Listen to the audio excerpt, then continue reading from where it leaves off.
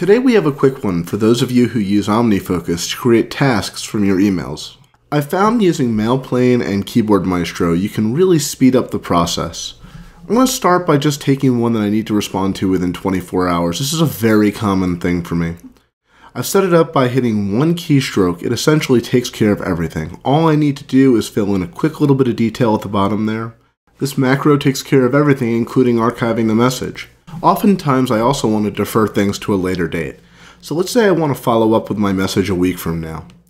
I have a different macro that essentially does the same thing, except it leaves me one more field for filling in my time frame. I put in 1W for a week, I enter in the reason that I'm following up on the message, and just like the other macro, Keyboard Maestro takes care of everything and archives the message in Mailplane.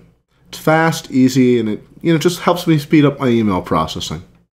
From there, we can go jump right into OmniFocus, and as you'll see, your message is essentially processed. It's in the right project, it has the right context, and the dates are filled out just how I want them. My first message is set for tomorrow, and the other will appear in a week when I need it.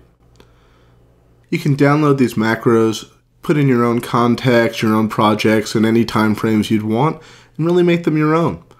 To learn more, visit a bettermess.com.